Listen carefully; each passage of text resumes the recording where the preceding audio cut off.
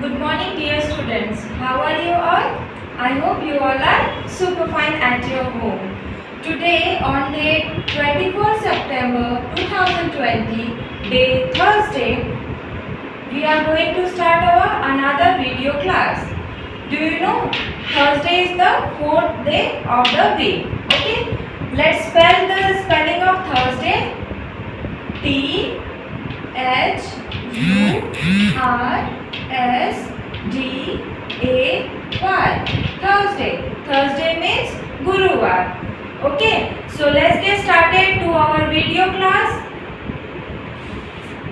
And today's subject is बोलते अक्षर चलिए हम हमारे वीडियो क्लास की शुरुआत करते हैं चलिए स्टूडेंट्स आप लोग अप, अपनी बोलते अक्षर की बुक निकालिए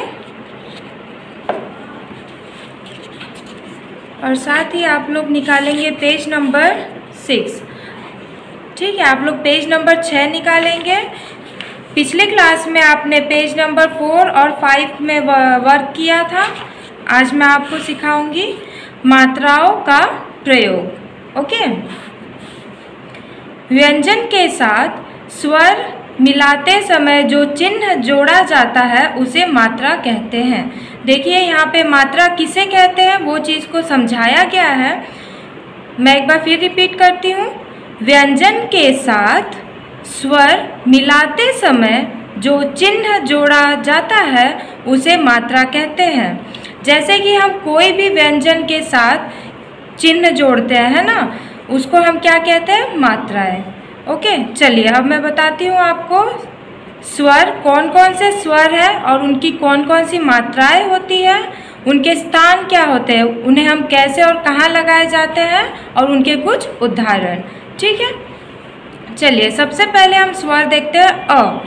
अ का कोई मात्रा नहीं होता है, इसका कोई चिन्ह नहीं होता है, स्थान। अब जब यहाँ उसका चिन्ह नहीं है तो उसका स्थान भी नहीं होगा, हम उसका उपयोग नहीं करते हैं। ओके क। चलिए बच्चों, अ अ का कोई मात्रा नहीं होता है तो इसे इसे हम कैसे लिखते हैं? इसका उदाहरण क्या होगा? क जोड़ अ। क्या होता है? क। ठीक है? ये क्या है? आप लोग अच्छे से जानते हैं, ये है आ। आ की मात्रा, एक सीधी ऐसी लाइन होती है, ये होती है आ की मात्रा। व्यंजन के दाएँ तरफ़ लगता है। इसका स्थान कहाँ होता है? व्यंजन के दाएँ तरफ़। ठीक है? इसका हम उदाहरण देखते हैं। क, चलिए हम एग्ज़ाम्पल देखते हैं। क, जोड़, आ। क्या होगा? का। देखिए यहाँ आ की मात्रा लगी है ना? कहाँ लगी है? दाईं तरफ़। चलिए अब मैंने आपको आ की मात्रा समझा दी है। अब आ की मात्रा से कौन कौन से वर्ड्स आते हैं, ये मैं आपको आज समझाऊँगी। आगे का हम लोग जैसे जैसे हम मात्राएँ पढ़ेंगे, वैसे वैसे मैं आपको ये समझाती चली जाऊँगी। आज मैंने आ की मात्रा समझाई है। उसके हम कुछ यहाँ पे एग्जांपल्स देखते हैं, कुछ शब्द देखते हैं, ओके? आ, ये आ का मात्रा है, ओके? चलिए, पहला एग्ज़ाम्पल है, ग, जोड़ आ की मात्रा, जोड़ य।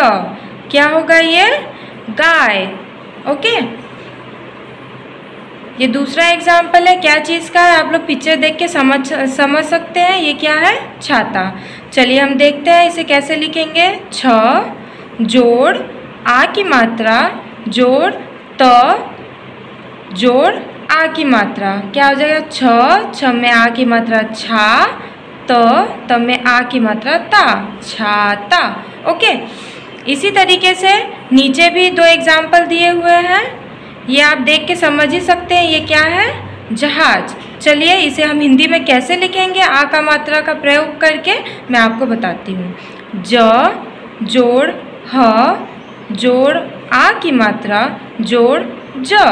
क्या होगा? ज, ह ह में आ की मात्रा, हा, ज, जहाज़। ओके? दूसरा है, यहाँ भी आप देख के समझ जाएँगे ये क्या है, ताला। चलिए इसे भी देखते हैं। त, जोड़, आ की मात्रा, जोड़, ल, जोड़, आ की मात्रा। क्या होगा? त त में आ की मात्रा ता, ल ल में आ की मात्रा ला, ताला। ओके? इसी तरीके से नीचे भी बहुत सारे शब्द दिए हुए हैं। आप लोग इसी तरीके से इसे पढ़ेंगे, समझेंगे और साथ ही साथ आप याद भी करेंगे, ओके? मैं आपको एक दो बता देती हूँ, आपको कैसे पढ़ना है? म म में आ की मात्रा माँ, त त में आ की मात्रा ता माता ओके? दूसरा देखते हैं, छ छ में आ की मात्रा छा तो त में आ की मात्रा ता छाता ओके? इसी तरीके से आपको पूरा ये रीड करना है। और याद करना है, ओके? आपका ये क्लास वर्क था।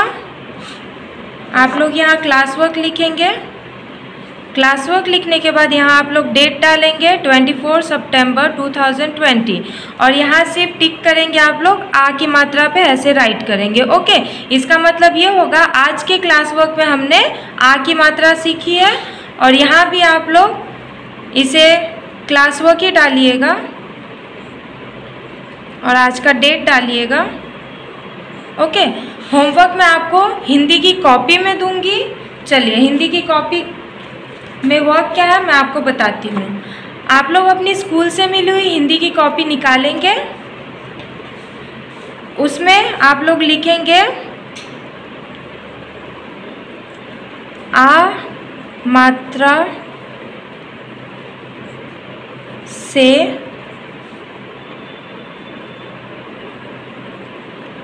दस शब्द।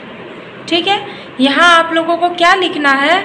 आ की मात्रा से दस शब्द लिखने हैं। आप लोग बुक में ये पढ़ेंगे ना, पढ़ने के बाद आप लोग इसी में से कुछ दस शब्द कॉपी में लिखेंगे आज के होमवर्क के लिए। सो, आप लोग यहाँ क्या लिखेंगे?